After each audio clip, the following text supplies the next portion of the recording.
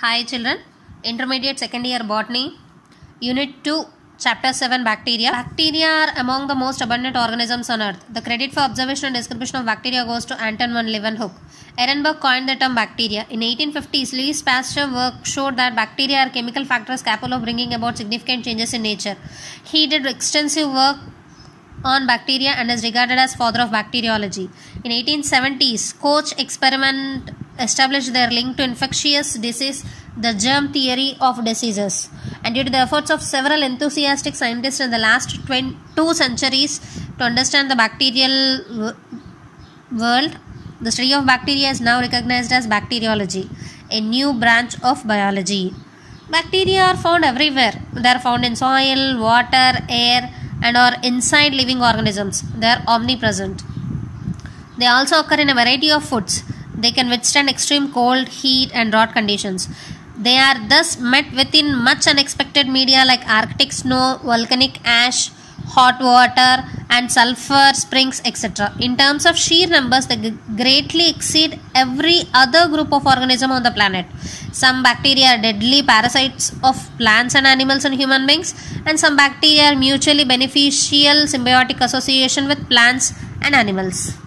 Morphology of bacteria. Let's discuss the size. Bacteria are very small organisms which are barely visible under the light microscope.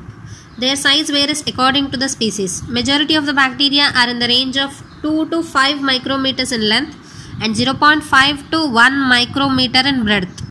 And coming to the shape of the bacteria, it is the rigid cell wall of the bacteria that determine the shape of the bacterial cell. Bacterial cells may be spherical, elongated rods or helical rod like or comma shaped or some are uh, changing keep on changing their shape depending upon the type of the environment and nutrients available to them. And let us discuss the shape of the bacteria one by one. Firstly the spherical type of bacteria. Bacteria may occur individually or in group. The arrangement of bacterial groups depends upon the adherence of cells together after cell division based on the number of cells adhering together and their arrangement the spherical that is cocal forms are named as monococcus.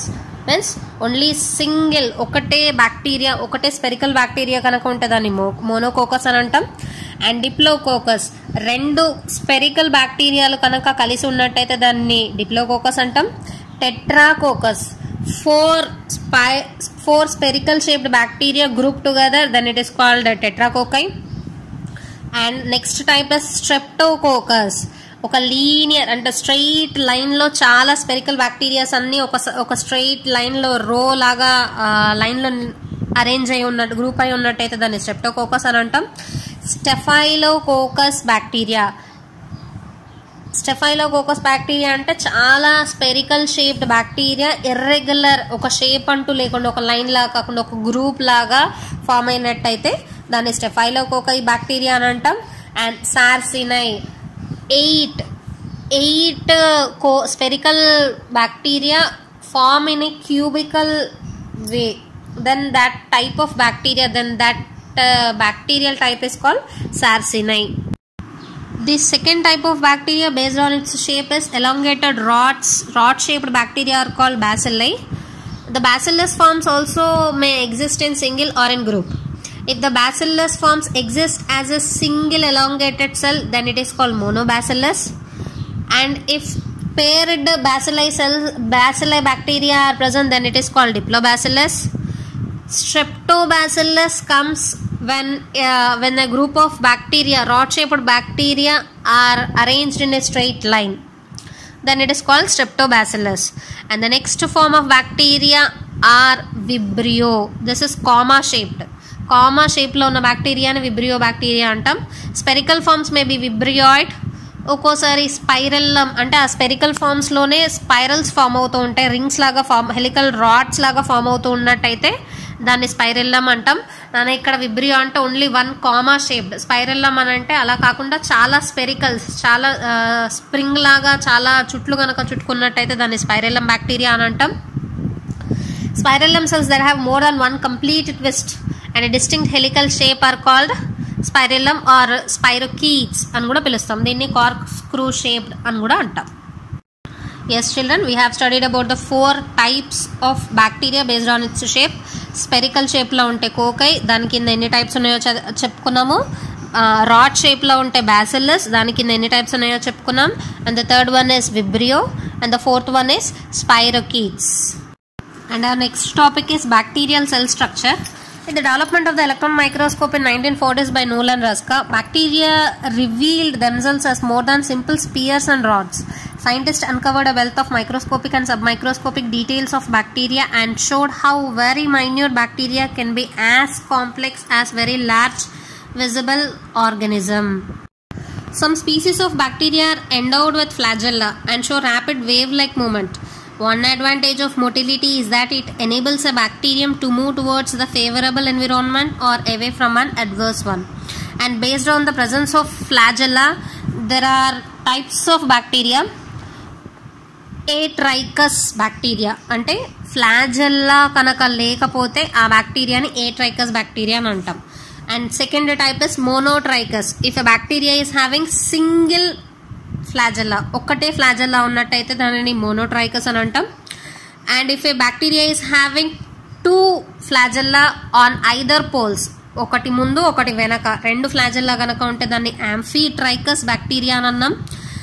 And లోఫోట్రైకస్ అని అంటే ఒకవైపే ఏదో ఒక పోల్లో మాత్రమే ఒకవైపు మాత్రమే ఒకటి కంటే ఎక్కువ ఫ్లాజెల్లా కనుక ఉంటే దానిని లోఫో ట్రైకస్ అని అన్నాం. And పెరీట్రైకస్ flagella. బాడీ మొత్తం మొత్తం కూడా అంటే దాని అది రాడ్ షేప్డ్ కానీ లేకపోతే ఏ షేప్ అయిన బ్యాక్టీరియా దాని బాడీ చుట్టూ కూడా ఫ్లాజల్లా కనుక ఉంటే దానిని పెరిట్రైకస్ బ్యాక్టీరియా అని అన్నాం. నాన్న four five types of bacteria ఉన్నాయి. Based on the presence of flagella trichous అంటే ఫ్లాజెల్లా ఉండదు మోనోట్రైకస్ అంటే ఒకటే సింగిల్ ఫ్లాజెల్లా ఉంటుంది. యాంఫీట్రైకస్ అని అంటే రెండు వైపులా ఫ్లాజెల్లా ఉంటుంది. రెండు పోల్స్కి ఫ్లాజెల్లా ఉంటుంది. లోఫోట్రైకస్ అంటే ఒకటే ఫ్లా ఒకటే వైపు ఫ్లాజెల్లా ఒకటి కంటే ఎక్కువ ఫ్లాజెల్లా ఒకే వైపు ఉన్నట్టయితే దానిని లోఫోట్రైకస్ అన్నాం.